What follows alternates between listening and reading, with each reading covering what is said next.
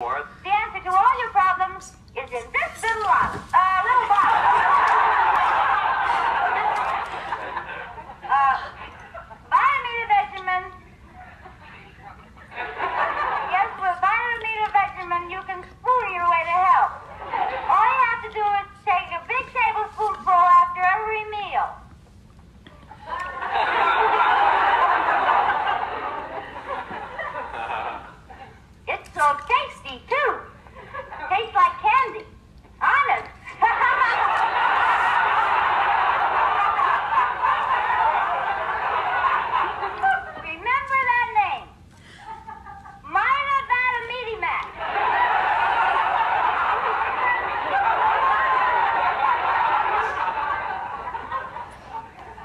McGillicuddy.